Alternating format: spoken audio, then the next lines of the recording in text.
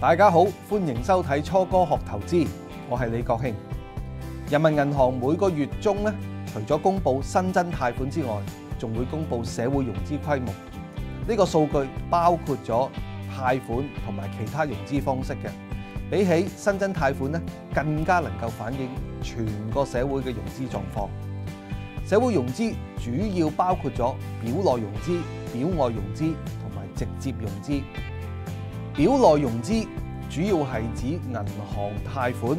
記錄喺銀行同埋借款人資產負債表之內嘅融資。由於要記錄入表啊，所以受到嘅監管咧會較為嚴格嘅。例如銀行嘅放貸能力咧會受到存貸比率嘅制約，借款人嘅舉債空間咧亦會受到債務比率高低所限制嘅。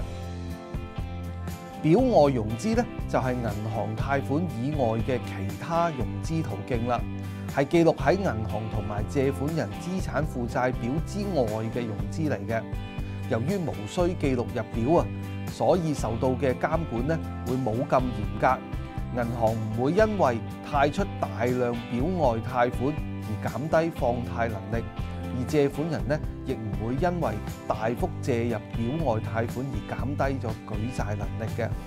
所以唔受監管嘅表外融資咧，曾經增長好快，好似二零一六年同埋二零一七年呢兩年咁樣，表外融資佔社會融資規模嘅比例咧，最高達到成四成咁多，增長率咧最高達到成六成添。造成社會融資規模分別喺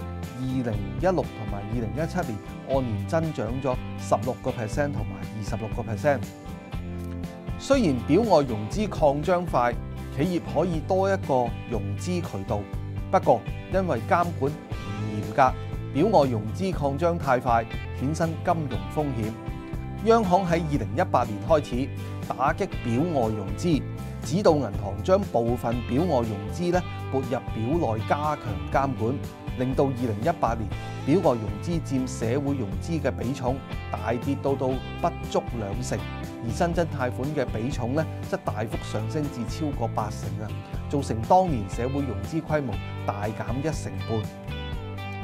最後直接融資咧，主要係嚟自企業透過發債或者發股票籌集嘅資金。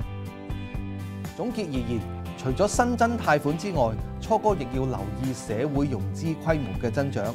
社會融資增長快，短期有利市場資金充裕，但係中長期咧就可能埋下高槓桿嘅風險。因此，分析社會融資規模嘅時候，應該作出更加深入嘅思考。